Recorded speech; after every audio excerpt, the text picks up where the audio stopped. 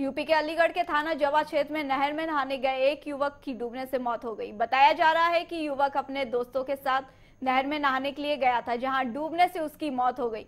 वहीं घटना की सूचना मिलते ही मृतक के परिजनों में कोहराम मच गया। बता दें, मृतक के परिजनों का रो रो का बुरा हाल है। वहीं गोताखोरों ने नहर में शव को बाहर निकालने की कोशिश की, लेकिन शव नहीं मिला। लेकिन मृतक का शव उन्हें नहीं मिला। बता दें कि मृतक के परिजनों ने डूबने की बात से इनकार करते हुए मृतक के दोस्तों पर हत्या का आरोप लगाया है।